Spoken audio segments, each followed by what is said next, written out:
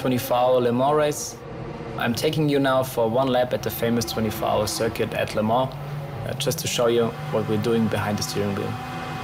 We're just about to start the first lap, so we are entering the start-finish straight, passing some cars, which is quite normal for this type of racing. You know, we have multiple class racing, passing always slower cars during a 24-hour race.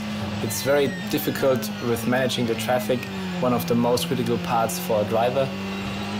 And now we are just going through the Dunlop Bridge into the Esses. Very fast corner, very fast section of the circuit.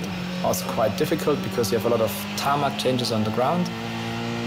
Now entering Tertre Rouge, really fast corner in fifth gear. And now we have the first time a, long straight line. It's called the Hunaudière straight.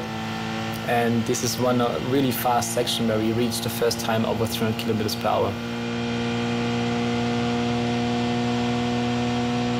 We reached 335 kilometers per hour just before the braking zone.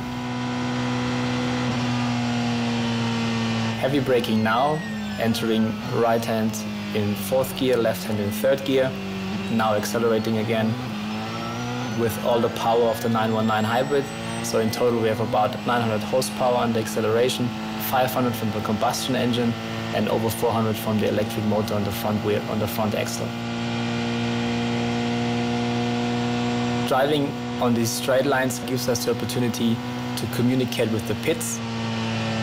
It's very different to other racetracks where we don't have these longer straight lines. This is also one of the reasons why we can stay quite long in the car. So one stint in the night probably will be between three and a half and four hours.